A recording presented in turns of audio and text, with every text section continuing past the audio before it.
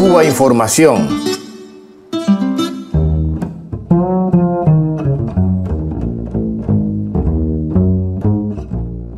En 1962, un programa secreto del gobierno de Estados Unidos afirmaba, la acción política contra el gobierno cubano será apoyada por una guerra económica que induzca al régimen comunista a fracasar en su esfuerzo por satisfacer las necesidades del país. Y las operaciones psicológicas acrecentarán el resentimiento de la población contra el régimen.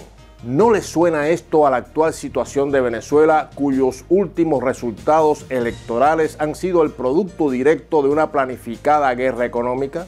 Recordemos que en 2006 el gobierno de Estados Unidos creó una misión de inteligencia conjunta para Cuba y Venezuela.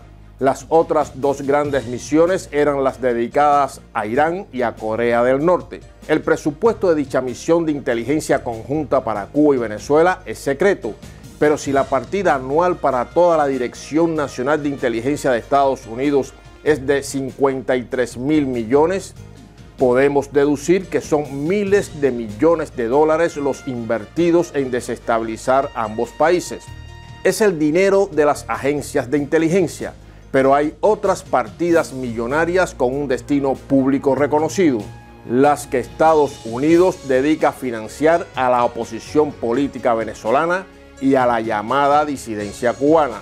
Solo el último año, Estados Unidos ha entregado 18 millones de dólares a grupos antigubernamentales en Venezuela y una cifra similar en Cuba.